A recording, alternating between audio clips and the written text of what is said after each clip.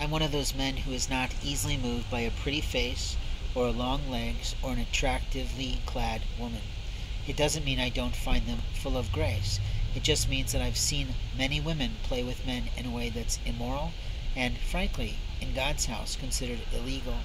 But when I met a woman who was beyond compare, I really didn't know what to do other than to stare. And frankly, it wasn't the best timing for me, but it was certainly a marvelous opportunity. The opportunity began with business. And what I had prayed to the Lord, part of my prayer in a very profound way, was Lord, bring me someone that I can learn from every day. And with that, I did. My whole faith changed, my whole world changed, my whole practice changed, my whole business did not change because my business was doing quite well and openly well enough for me to speak out to her and say, Look, you're pretty good at sales, I'd like you to help me to sell. But she was not willing to see the opportunity before her, and she continued to struggle, and that's on her life, not mine. She eventually left the community and left a hole in my life and in my soul. Because in America we have rights.